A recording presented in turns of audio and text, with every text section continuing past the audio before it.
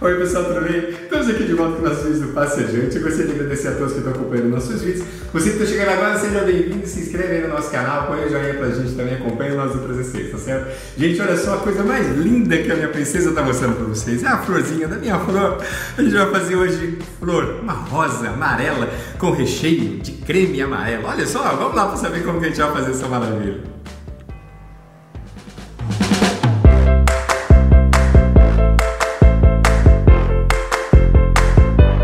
Isso, então vamos lá saber como que a gente vai fazer as nossas lindas rosas amarelas, né minha filha? Aqui ó, vamos usar 500 gramas de farinha de trigo, de preferência sem fermento.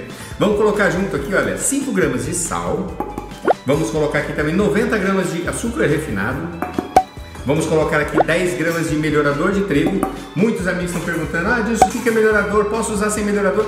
Pode usar sem melhorador, gente. O melhorador de trigo é um produto que serve para ajudar a melhorar a nossa farinha de trigo, para dar mais elasticidade, volume e maciez também às nossas massas, tá certo? Logo, logo vou fazer um vídeo aí só explicando isso aí, tá bom? Vamos colocar aqui, olha, 40 gramas de fermento fresco, mas se você estiver usando seu fermento seco, pode adicionar aí 5, 10 gramas, dependendo, lógico, do clima, tá certo? Então vamos colocar aqui 40 gramas e vamos mexer aqui, ó. Perfeito, olha, misturadinho, vamos colocar aqui agora na nossa mesa.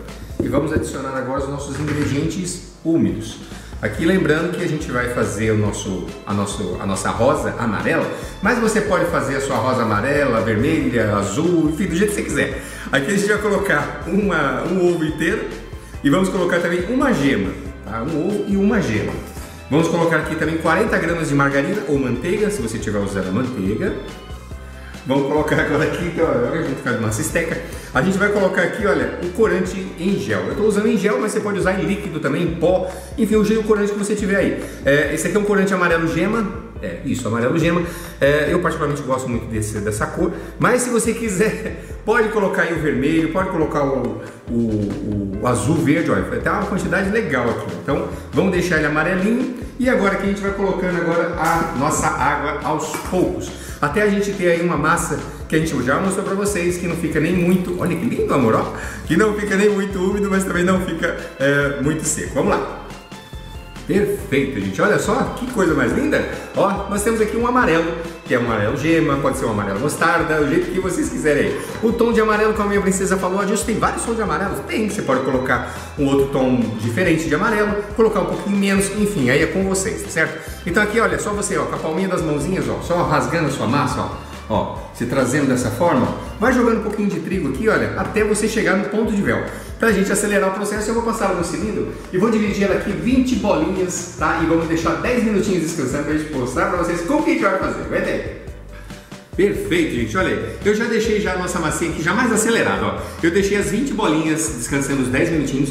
Agora aqui a gente está abrindo elas, né, num, num disco. O disquinho aqui, gente, é o tamanho muito, depende mesmo do tamanho que você colocar a sua massa.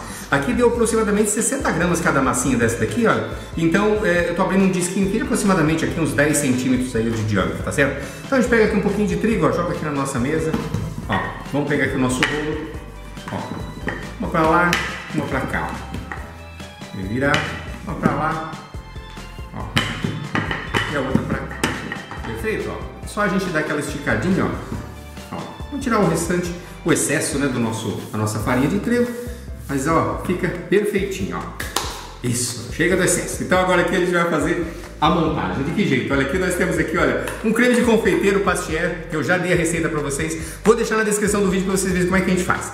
E aqui eu coloquei também o corante é, em gema, né? Aquele corante em gel também, coloquei ele aqui para ele ficar mais amarelinho. E aqui eu tenho também 30 gramas do nosso é, coco ralado. Esse coco ralado do fino, mas se você tiver o médio aí, você coloca aí é, a quantidade que você quiser. Vamos colocar um pouquinho, vamos misturar isso aí, ó, já tá mexidinho. A quantidade de coco eu falei para vocês 30 gramas, mas aí também, lógico, é que eu tenho mais um pouquinho de creme lá. Então, se precisar, eu vou pôr. Então, aí você coloca também a quantidade de coco que você quiser. Aqui eu vou tirar da nossa colher, vou deixar na nossa pequena, porque agora a gente vai fazer a montagem. Que jeito? Nós vamos pegar aqui, olha, tirar um pouquinho do excesso da farinha de trigo e vamos fazer com a quantidade de pétalas que você quiser. A gente vai fazer elas com quatro pétalas. Então aqui a gente vai fazer o seguinte: você vai tirar aqui o excesso da sua farinha, Vamos colocar aqui na mesa e você vai colocar sobre a sua massa, olha, aproximadamente aqui, olha, um terço.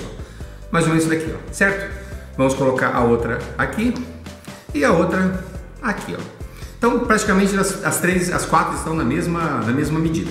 Aí a gente vai fazer o quê? Vamos pegar aqui um pouquinho do nosso creme. Ah, lembrando também que você não tem necessidade de ser o creme pastier, você pode usar chocolate, você pode usar doce de leite, olha que maravilha. Tem opções aí de recheio que você quiser, logicamente dependendo da sua massa. Então aqui a gente vai colocar uma fileira de creme ou de recheio. Ó, não é necessário a gente colocar demais não, tá? Porque também senão depois não dá para fechar. Então, ó, mais ou menos aí, ó. Tiver muito a gente tira. Tira aqui um excesso. Não pode ficar muito, senão não dá para fechar. Certo? Agora aqui a gente vai fazer o quê? Vamos pegar aqui a nossa gema, vamos passar aqui, ó, nessa nessa pontinha aqui delas todas, ó. Pra gente poder colar a nossa massinha, ó. Isso, fica aí. Agora aqui a gente vai abraçar a nossa, o nosso recheio, ó. Desse jeitinho aqui, ó. ó assim apertando o máximo que der. Por isso que não é muito bom você colocar muito recheio, tá? Então, ó, aqui damos uma apertadinha para o nosso recheio não fugir muito não. E agora aqui você enrola de lá para cá ou de lá para lá, tanto faz. Então vamos enrolar daqui para lá para a gente ter mais ou menos a noção, ó. ó. Aí você vai enrolando, enrolando, enrolando e enrolando. Aqui a gente vai ter a nossa a nossa flor. Aí você abre as suas pétalas aqui, ó. Ó, chique, hein? Fala a verdade, né? Linda, amor? Linda. então tá joia. Essa daqui ela vai ficar um pouquinho mais para fora, mas aqui a gente dá uma apertadinha nela aqui, ó, para ela não abrir tanto, ó. ó. Tá certo? Então dessa maneira aqui. Aí o que, que você vai fazer? A gente vai pegar a nossa gema e vamos passar aqui, ó, bem sutilmente, somente ó, na pontinha aqui, ó. Ó, só na, na pontinha da nossa, da nossa rosa, ó. Para ela, quando ela for ao forno, ela vai dourar mais essa parte aqui. E também, antes de levar ao forno, a gente vai jogar aqui um açúcar granulado para ele colar exatamente aqui onde está essa gema aí, ó, certo? Perfeito? Tá bonito? Ali. Vamos colocar na forma, devidamente untada somente com óleo. Se você quiser fazer um arranjo, vai ficar mais bonito ainda. Como é que é arranjo, Adilson? Você vai colocar aqui, olha, diversas rosas aqui, um exemplo, três ou quatro, e aí você vai esticar aqui um caule. Com a mesma massa também já dá para você fazer esse tipo de efeito. Deu para entender? Perfeito? Então tá jóia. Então eu vou acabar de terminar de fazer as outras aqui. A gente vai dar um crescimento nelas aqui de aproximadamente aí mais uns uns 40 minutos, porque hoje está um dia quente e também não é necessário que ela dobre muito de tamanho, senão ela vai perder a forma. E aí a gente vai assar uma temperatura de 180 graus por aproximadamente 25 minutos, 30, mas também depende do seu forno. Então eu vou acabar de fazer o assar e mostro vocês o resultado. Vai ter.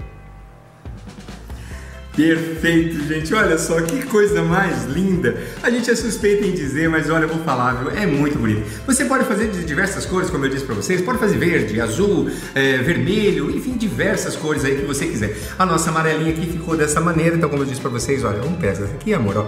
É só a gente passar aqui nas laterais, jogou um pouquinho de açúcar. Olha só que coisa mais linda. Ah, então vamos saber como é que ficou, amor. Olha, ó, olha só o creme por dentro. Hum, meu Deus do céu, Marlene pegar isso daqui, olha, olha só que cheiro delicioso. Ai, meu Deus, aqui, amor, ó. Hum, hum. Hum, hum, hum, hum.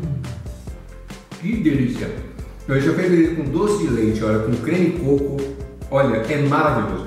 Pode fazer que a gente garante. Olha, deixa eu deixar assim desse jeitinho aqui, ó, que já nos conversa. Gente, gostaria imensamente de agradecer a todos que estão acompanhando nossos vídeos. Você que chegou agora, se inscreve no nosso canal, põe um joinha pra gente também, acompanhe nas outras receitas, acione a campainha para quando colocar um vídeo novo aí você estará recebendo em primeira mão. A gente passa por cima também se caso se interessar, é uma forma de ajudar vocês e ajudar a gente.